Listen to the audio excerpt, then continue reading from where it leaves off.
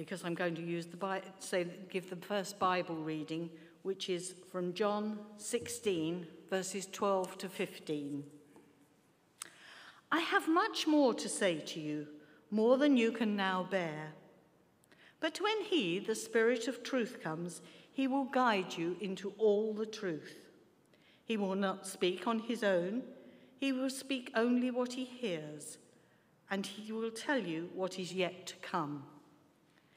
He will glorify me because it is from me that he will receive what he will make known to you. All that belongs to the Father is mine. That is why I said, The Spirit will receive from me what he will make known to you. May God add his blessing to that reading. And we now have a second reading.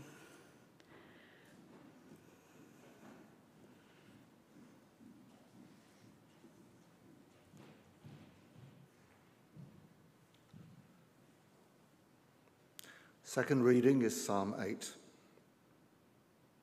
O Lord, our Lord, how majestic is your name in all the earth. You have set your glory above the heavens. From the lips of children and infants you have ordained praises because of your enemies to silence the foe and the avenger. When I consider your heavens, the work of your fingers, the moon and the stars, which you have set in place, what is man that you are mindful of him? The Son of Man that you care for him. You made him a little lower than the heavenly beings and crowned him with glory and honor. You made him ruler over the works of your hands.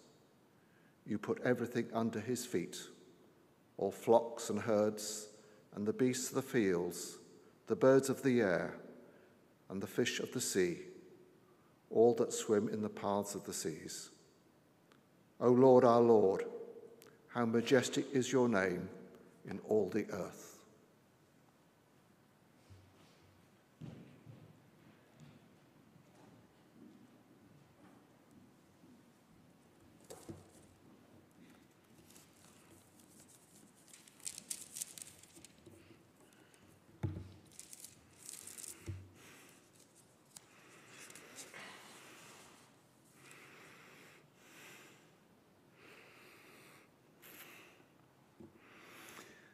The title I've given for today is Our Mysterious God.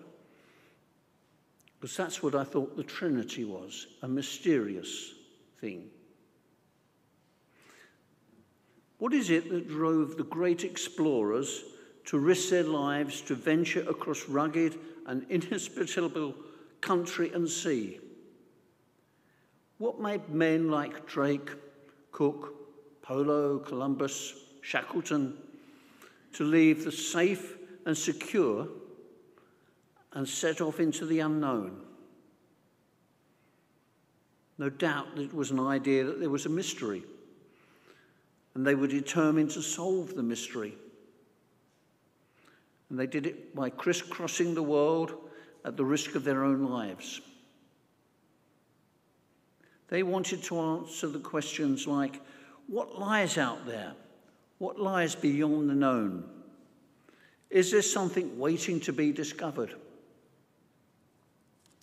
Well, these explorers and their pioneer families did solve the mystery of what was out there beyond their patch of land.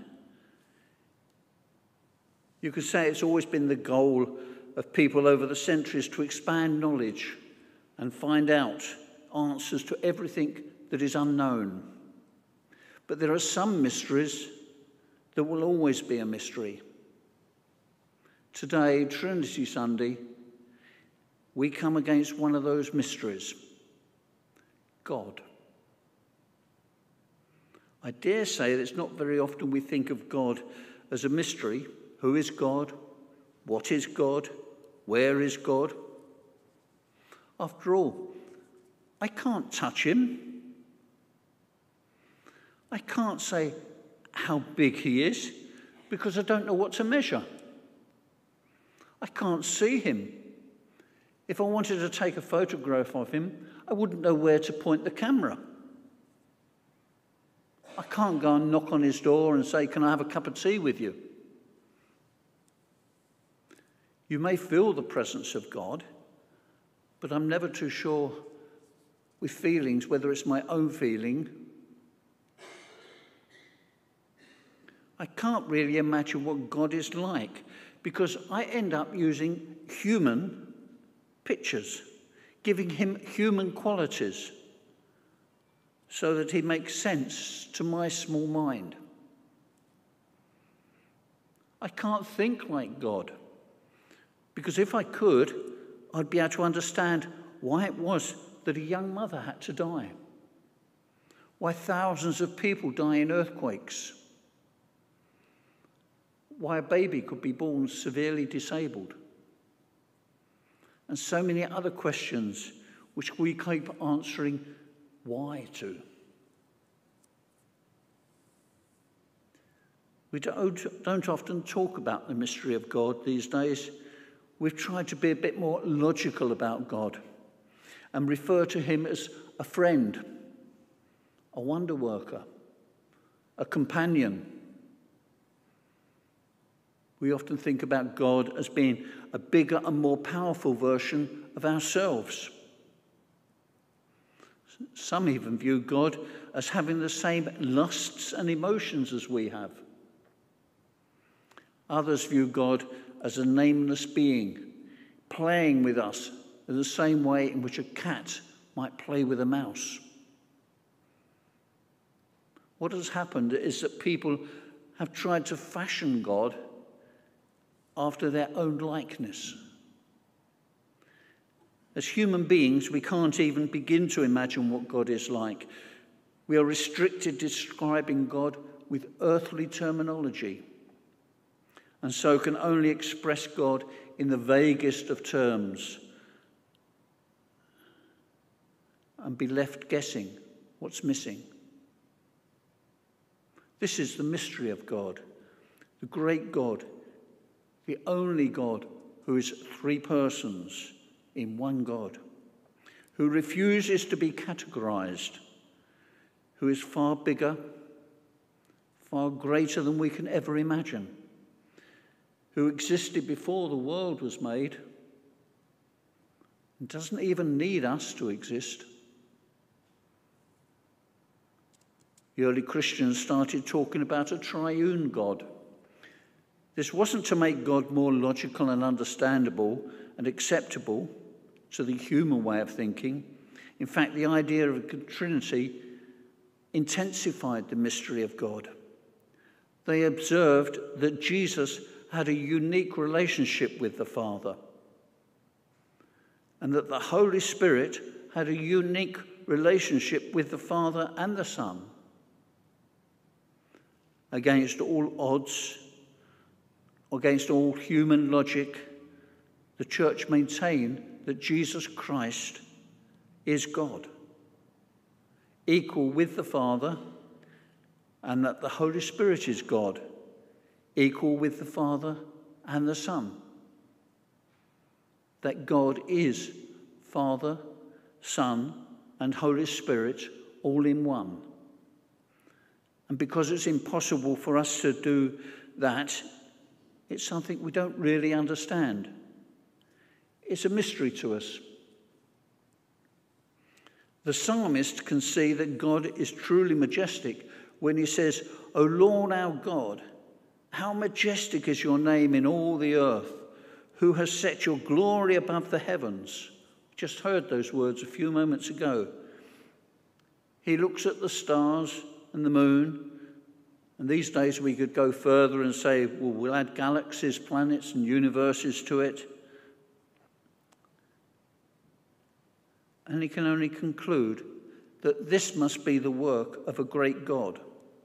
Maybe you've done the same you looked at a magnificent colour of the sunset, the intricate colours of a beautiful flower, the mountains, the green fields, a star filled sky.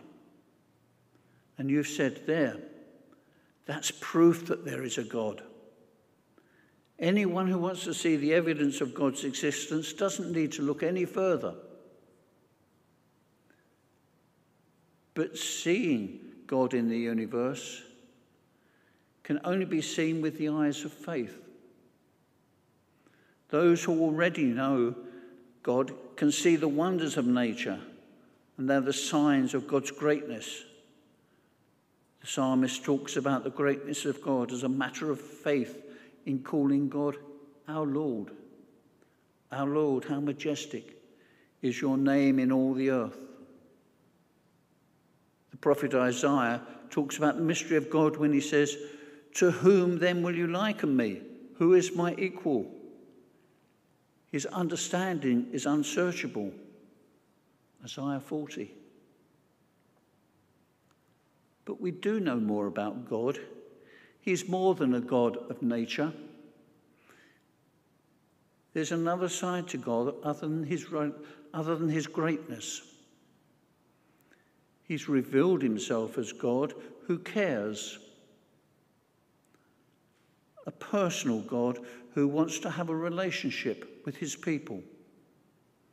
From the very first pages of the Bible, we hear of a God who is powerful and great, who creates the earth in just a world. Let there be. And it happened. Can you create anything by just saying a word? Now be careful because I have heard the answer yes, chaos.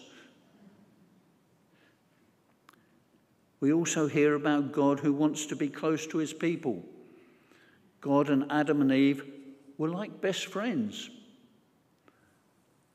They walked in the garden together. The psalmist marvels at the whole idea that this awesome and majestic God should care for someone so insignificant, so mortal as a human race. In fact, God loves his people. A few weeks back, we celebrated Good Friday and Easter. We celebrated the great love that God has by allowing his son to die in a place and to conquer the power that death has over us. He wants us all to come close to him. Something that's only because possible because our sin has been dealt with. We couldn't get close to God while we were still in a sinful nature we have been reconciled to God. God sent Jesus to restore our friendship with Him through His dying and rising from the grave. And when we ask the question, Who died on the cross? we answer, God died on the cross. He did the unthinkable. He allowed himself to fall in the hands of sinful people, to be treated cruelly, to be laughed at, to be nailed to a cross. We say, in theory, that's not possible. God, who is majestic and awesome, can't do this, but He did. This is part of the mystery of God. God raised Himself from the dead. Last week we celebrated Pentecost, the pouring out of the Holy Spirit on his disciples and on the church. Jesus said that he and the Father would send the Spirit to remind us of the truth of God's promises, to guide us, to encourage us, to sustain us when the going gets tough. There's nothing more personal than the Spirit of God. He becomes part of our sordid existence in this world. He lives in us, even though we allow sinful nature to take control of our lives so often. Theoretically, it is impossible for a holy God to do. Again, we are com- confronted with the mystery of God. The doctrine of the Trinity is not an attempt by the church to unravel the mystery around God. In fact, it deepens the mystery. It doesn't tell us everything about what God is and who He is. It raises more questions rather than give answers. But it does tell us some important things about God, things that are life changing. Who is God? He is our Heavenly Father who made us, takes care of us, and calls us his dear children. Who is God? He is Jesus Christ, who gave his life on the cross to re establish our relationship with God. He reveals the way to God and to eternal life. Who is God? God is the Spirit in you, giving you faith in God and guiding you in your daily walk as a Christian. Faith in a triune God acknowledges the might and mystery of God, but at the same time, a God who cares. The psalmist put it this way O Lord, how majestic is your name in all the earth, who has set out your glory above the heavens. When I consider your heavens, the work of your fingers, the moon and the stars which you have ordained, what is man that you think of him? What is the Son of Man that you care for him? I've met many Christians over the years who have been puzzled by the idea of a triune God. Some, even to the point of saying that they find it impossible to believe. I don't think when we get to the pearly gates, any of us are going to be judged on our knowledge or thoughts of the Trinity. After all, in human terms, this, this is an impossible concept. Let's leave it as part of the mystery of God. But what is important is that in the ups and downs of daily life, we have a God who saves, a God who loves, a God who has gone to extreme lengths to ensure that you have a living relationship with Him, a God who cares for you.